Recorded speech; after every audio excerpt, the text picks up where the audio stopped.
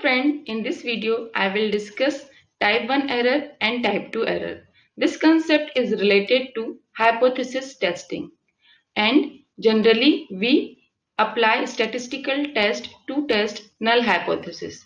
So if suppose I have a null hypothesis and that is true and my statistical test results reject my true null hypothesis so that means I am making a mistake to reject a true null hypothesis and that is known as type 1 error or alpha error.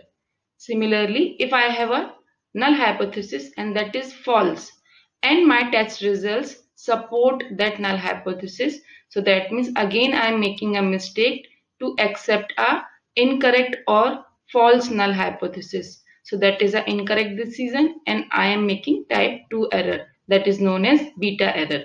So let's take an example to understand this. If suppose my hypothesis is this video helps students to understand type 1 error and type 2 error.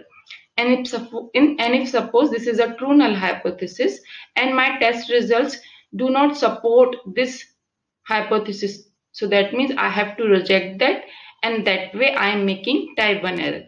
And if suppose this null hypothesis is false and if my test results support this null hypothesis so that means I will accept this null hypothesis and I am making type 2 error that is the beta error.